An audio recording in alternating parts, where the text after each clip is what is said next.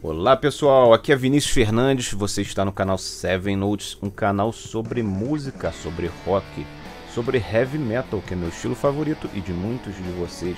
A notícia do momento é a seguinte: eu vi no Instagram do Iron Maiden algo que me impressionou. Eu tava descendo lá minha meu Instagram lá, passando para ver as publicações, né?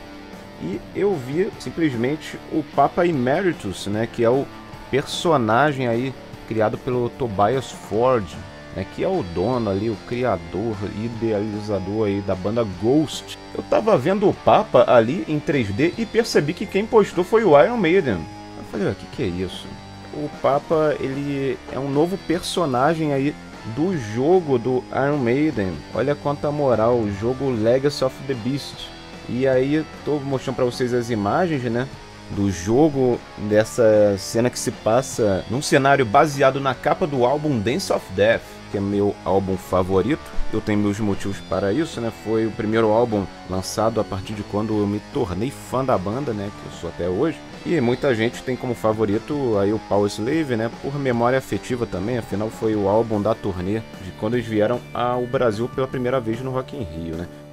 E esse vídeo mostra cenas do jogo, mostra uma breve entrevista lá com o Tobias, que é o Papa Emeritus, que também é fã do Iron Maiden há muito tempo. Ele fala que por muitos anos ele teve um pôster na casa dele justamente da turnê World Slavery Tour, que foi a turnê do Power Slave, que é aquela do show Live After Death que foi quando vieram também ao Rock in Rio. Então não apenas no Brasil, mas em todo o mundo foi onde a maioria das pessoas conheceu a banda nos anos 80. E curiosamente, o Tobias, a gente vê ali que ele é um cara bem mais novo do que a gente imaginava.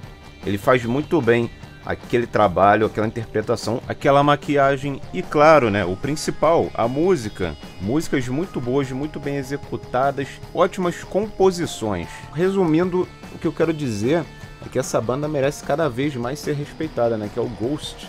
E o Tobias, que é o dono ali. O Ghost é ele, né? É dele. O próprio Iron Maiden, que é uma banda altamente exigente, e tudo mais, a maior banda de heavy metal da história, tá dando toda essa moral de botar o personagem Papa ali no jogo, né? E como a gente sabe, tudo tem que passar pela aprovação do patrão Steve Harris.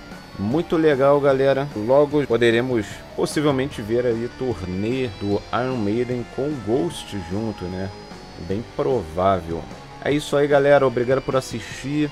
Se inscreve no canal, comenta, compartilha, dá o like ver os outros vídeos aí, um material aí bem variado que eu tenho aqui no canal, né? Tenho covers, inclusive eu lancei o cover de Hell on Earth, que é a música que muita gente já tem como favorita aí do novo e mais recente álbum da banda, que é o Senjutsu, de 2021, gravado em 2019.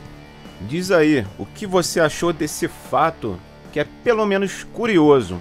E que mostra que não devemos, não precisamos nos prender apenas às bandas antigas, ainda há bandas boas que não só no futuro, mas que já podem ser consideradas clássicas. Valeu, até o próximo vídeo.